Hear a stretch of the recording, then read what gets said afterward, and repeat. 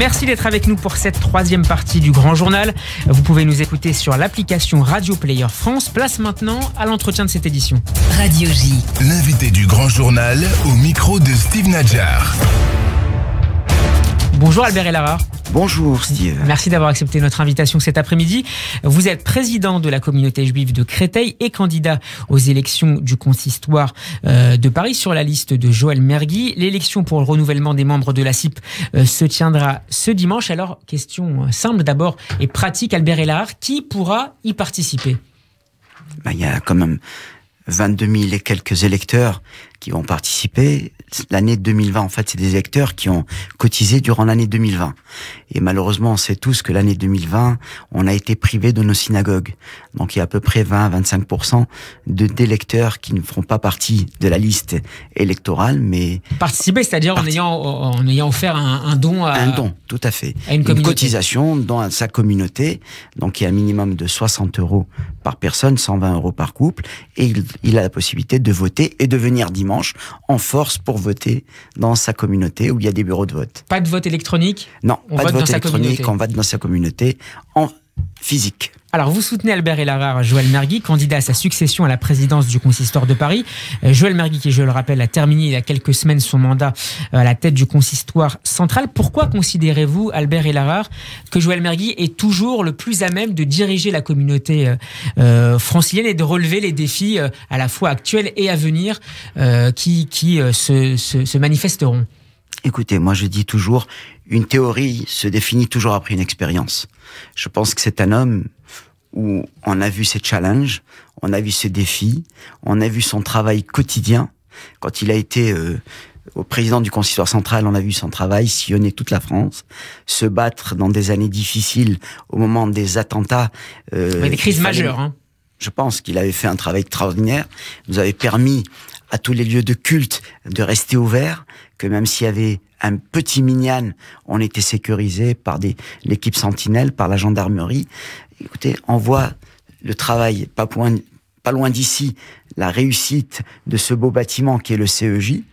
Et c'est un homme de terrain. C'est un homme, euh, je dirais, un bon meneur de la communauté. Et je crois que le travail n'est pas suffisamment fini. Il s'est investi et c'est tout à fait naturel qu'il se maintienne dans son poste de président du consistoire de Paris. Consistoire central, il n'a pas pu après trois mandats, donc les statuts ne lui permettaient pas. Mais c'est avec brio qu'il quittait ce poste.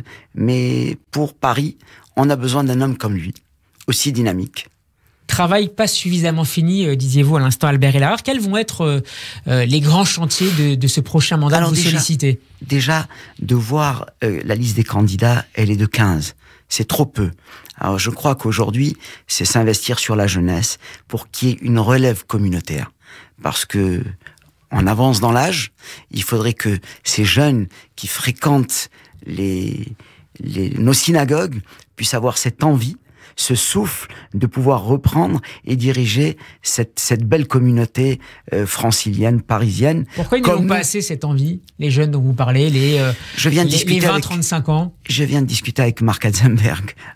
À l'instant, je lui ai montré mon portable, le Fold 2 qui se plie. Aujourd'hui, on s'est perdu depuis une dizaine d'années. On se perd dans les réseaux sociaux.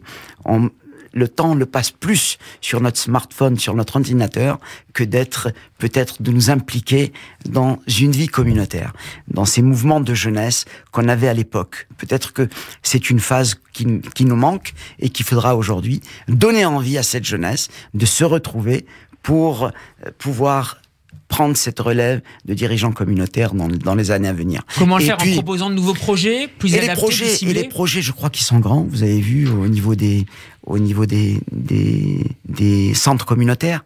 Boulogne est en construction. Nous, Créteil, on vient d'ouvrir une nouvelle synagogue qui est face à l'hôpital Mondor. Regardez le CEJ.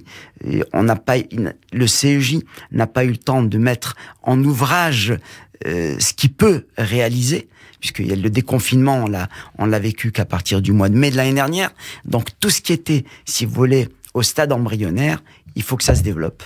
Il y a un centre communautaire également en construction, en finalisation de construction à, à Levallois-Perret, euh, dans les Hauts-de-Seine. On parlait de la, participation électorale tout à l'heure, attendue dimanche, Albert et Euh, comment s'est déroulée la campagne? Quels sont les retours que vous avez obtenus des personnes que vous avez croisées ces dernières semaines, bah, ici ou là? ben, les... J'ai été ravi de participer à, quelques réunions de campagne. Bon, c'est vrai qu'elle a commencé tard, la campagne, il y a à peu près trois semaines.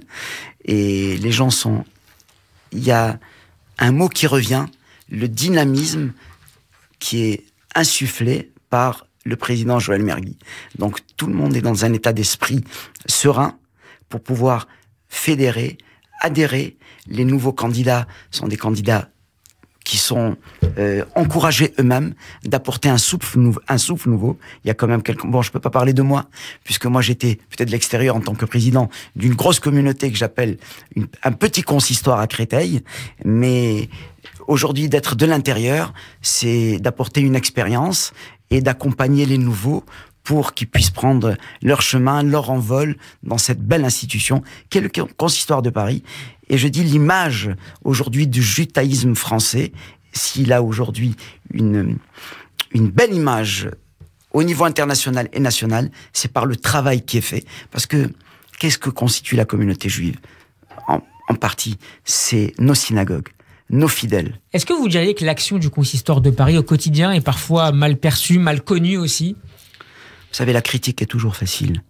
Je pense que les actions qui sont menées quotidiennement au sein du consistoire de Paris sont inconnues.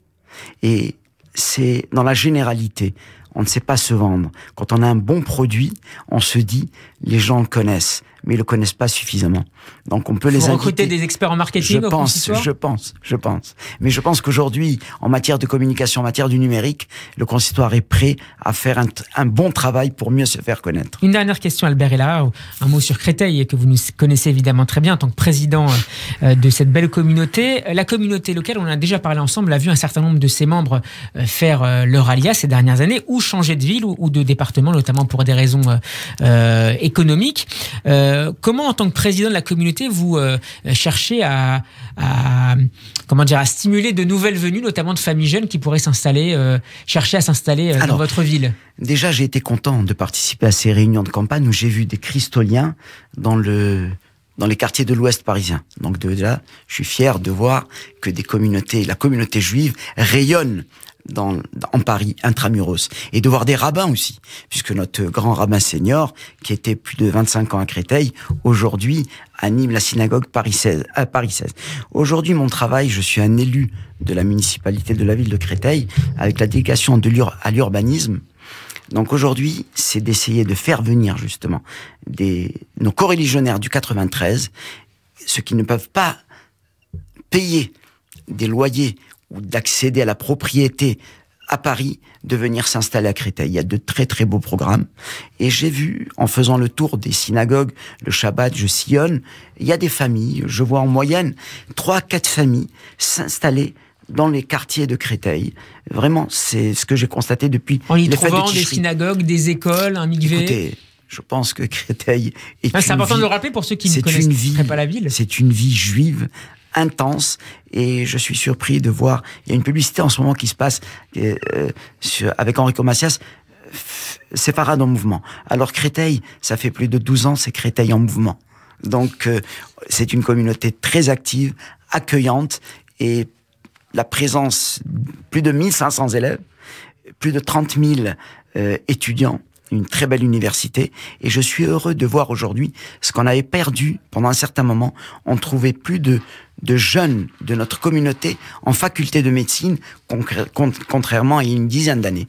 Aujourd'hui, la faculté de médecine a une population juive et ancien secours aussi. Merci beaucoup Albert. Avec plaisir. Et, Steve, je voudrais vous féliciter. La qualité de vos programmes. C'est gentil. Mais la qualité de vos, de vos actions et de l'information à Radio J. Merci à vous et merci au nom de toute l'équipe de Radio J. Je rappelle Albert Hellard que vous êtes président de la communauté juive de Créteil et candidat aux élections du consistoire de Paris sur la liste de Joël Merguier, élections qui se tiendront ce dimanche. À très bientôt sur Radio Venez voter. Radio J.